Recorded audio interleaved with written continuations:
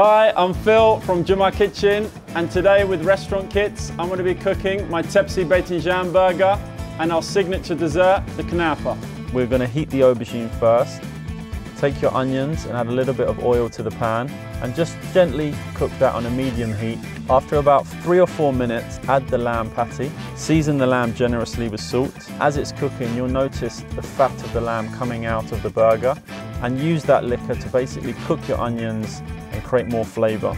Now we can start building the burger. Generously place the red pepper ketchup on the base and lid add the lamb patty and then take the aubergine out of the oven nice and warm.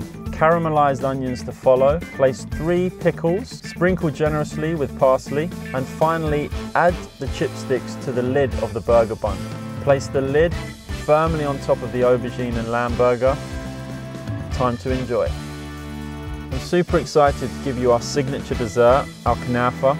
Everything's been done for you. You've just got to take the lid off and place into a hot oven at 190 degrees for 20 to 25 minutes. Once cooked, drizzle with the blossom water sugar syrup and garnish generously with the pistachio and rose. So there you have it guys. I hope you enjoyed our restaurant kit. We hope to see you real, real soon.